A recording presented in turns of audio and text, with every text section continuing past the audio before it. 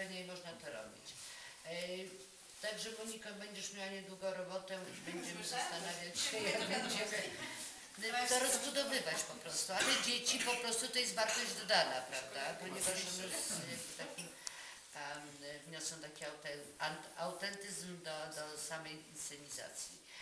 Więc można. Jeżeli jest zgoda, y, ja proponuję, y, mam Waszą ba bazę danych. Pani starosto liczę, że to nie pierwszy i ostatni raz.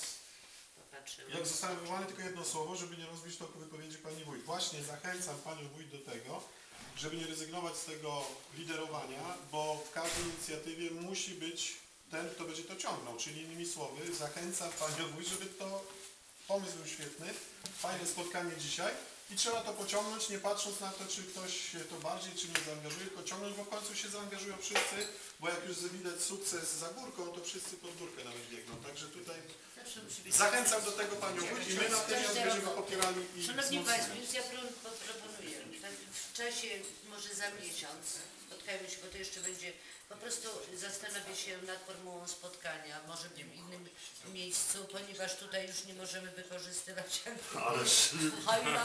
dlaczego nie zapraszamy No serdecznie? jeszcze nie wiecie, co Was czeka, Szanowni Państwo, ale ja, ja obiecuję, że przygotuję i, em, i do, Państwa powiadomię o spotkaniu i myślę, że za miesiąc, do półtora miesiąca spotkamy się. Czy taka formuła Wam odpowiada? No po wyborach niektórzy tu odetchnęli, odetchnięcie Rozumiem. jest spowodowane tym, że już będę po kampanii. Dobrze, więc to może po wyborach na pewno i spotkamy się.